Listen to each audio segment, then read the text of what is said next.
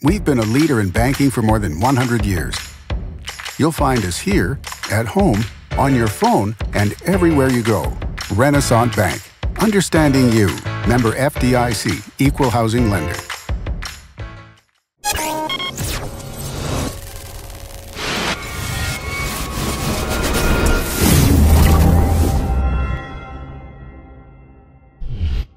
Sponsored by Renasant Bank. Good morning and welcome to Daily Journal Newsbreak for Friday, February 2nd. I'm your host, Chris Kiefer, and we're going to take a look at the top news and sports stories from Northeast Mississippi.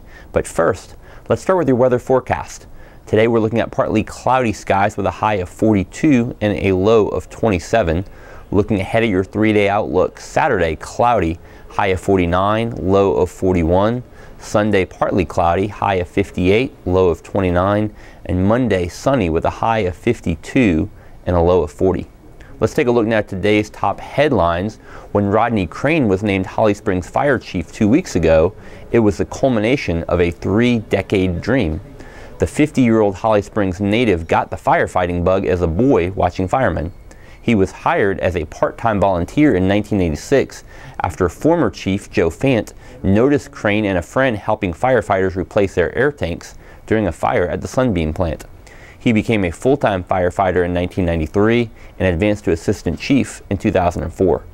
Crane takes over a 42 man department that includes both full time firefighters and part time members who are paid to respond to calls. He's about to start hiring to fill openings for firefighters and three administrative slots.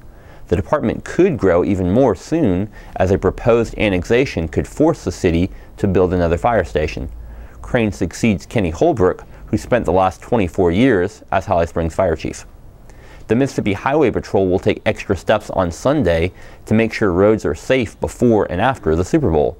MHP will be participating in a national safety campaign on Super Bowl Sunday to reduce vehicle crashes and enforce traffic safety laws.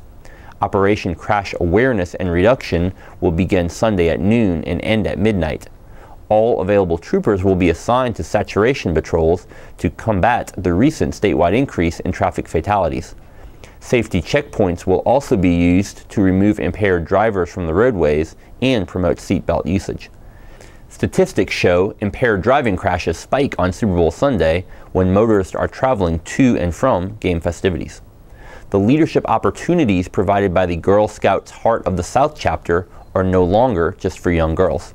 Women of all ages can now learn about leadership through a new eight month course titled We Lead Women Elevated.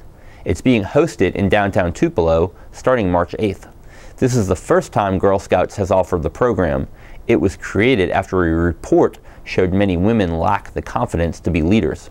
Speakers planned for the classes so far include Toyota Mississippi Representative Roberta Davis, who will oversee a diversity workshop, and Loretta Rudd from the University of Memphis, who will discuss resilience and emotional intelligence. The class will also cover topics like cultural competency, career development, communication skills, conflict negotiation, mentoring, work life balance, and personal branding. Meetings will take place from 6 to 8 p.m. on the second Thursday of each month from March until November. They will be held at a downtown Tupelo location. There is a $125 fee to participate. And in sports, Mississippi State basketball freshman KeyShawn Feazell has had a lot to learn in his first year in Starkville. Feazell was a four-year letter winner at Lawrence County High School and was rated as the second best prospect in Mississippi.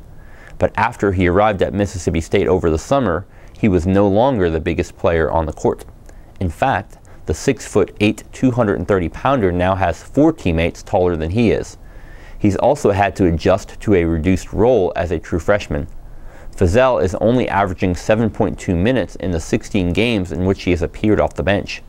He has scored 30 total points along with 27 rebounds. Feazell said he's learned to be mentally focused and pay attention to a lot of small details. He's also learned from watching his teammates and being patient.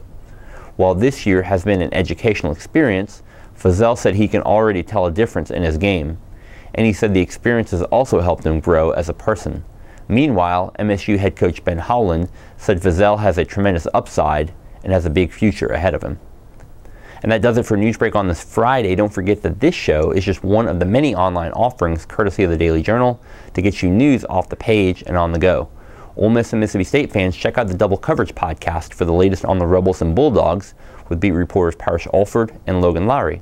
On Thursday's episode, they talked about the Mississippi State men's basketball team getting a big road win, while Ole Miss still seeks its first victory away from home.